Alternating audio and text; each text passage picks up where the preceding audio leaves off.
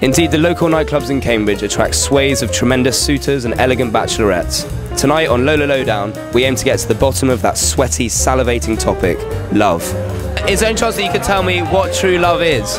Um, it's something between uh, the trousers and the um, underpants.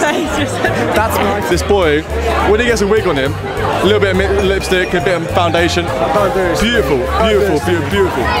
Mac, the, the, the old camera guy, Max something. Yes, Yeah, uh, where is he? He's not currently here. He is a Max blah blah is a big deal. I want him back. All right.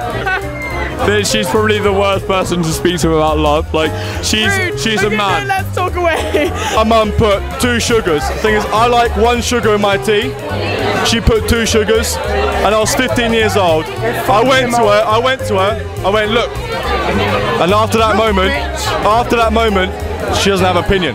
Which uh, sexual position do you think is the most loving? Ah, yes. Um, uh, when she is um, gaffer taped um, to the floor is my preference. Um, I'm, I'm out, I'm out. often, often with um, oh no, Is that your is that your girlfriend? that was my flirting. Fuck, I'm bailed.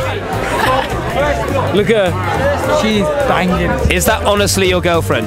That, yeah, okay. How do you feel when you think about her? Horny. Fuck! I know that love is spelled L-U-V. Like, definitely. Fine. Hey, the world's best chef's like, smile if you sleep with me.